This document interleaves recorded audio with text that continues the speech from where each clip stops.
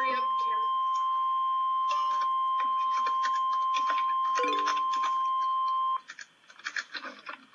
The National Weather Service in Morristown has issued a severe thunderstorm warning for Anderson County, Cobb County, Grainger County, Hamblen County, Jefferson County, Knox County, Union County until 8.30 p.m. at 7.48 p.m. National Weather Service Doppler radar indicated a severe thunderstorm capable of producing ping pong ball size hail and damaging winds in excess of 60 miles per hour. This storm was located 5 miles northeast of Clinton and moving east at 45 miles per hour. Locations in the warning include Maynardville, Rutledge, Jefferson City, Dandridge, Morristown, New Market, White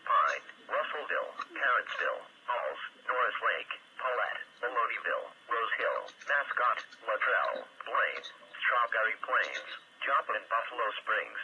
In addition to large hail and damaging winds, continuous cloud-to-ground lightning is occurring with this storm. Move indoors immediately. Lightning is one of nature's number one killers. Remember, if you can hear thunder, you are close enough to be struck by lightning.